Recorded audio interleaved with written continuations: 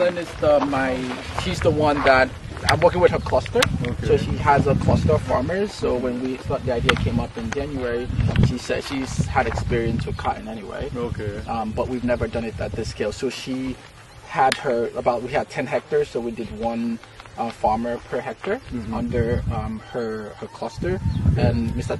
Um, Mr. Tunde- Femi. Mr. Femi is part of the his um, his cluster. He has his own lot, um, so. Um, he kind of brought them together, and we all came together and said, So is it like a cooperative? Yes. Yes, it's Yeah, a so registered cooperative. Okay. So she has So for now, how many how many members? We have 50 members, but it's not all of them doing cooking. Cotton. Okay. Some doing vegetables, some doing potatoes. Okay. Well, the cotton for now is just only ten. Yeah, yeah, and this now this is the first time we're doing cotton. Um, they do more potatoes, and, and I think the value was because it came from a processor. Because we also we make T-shirts. Okay. That's actually our business. Right. Yeah, so we we um, use the cotton. What we're trying now is to figure out can we use the cotton, make it into yarn, and then use it because we were outgrowing our supply.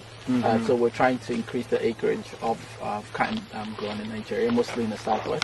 Whoever decides to, I actually Funtua is in a better place to buy because I went to Katsina and, and, and spoke to them. This is just the second harvest. The, the guys have been harvesting this product. Okay. They, they are done with it. So you finished with it? yes, So when did you when um, uh, when did the uh, did you plant them? uh, Decision, we- when did you we start? planted in July. In July. June, June. So we have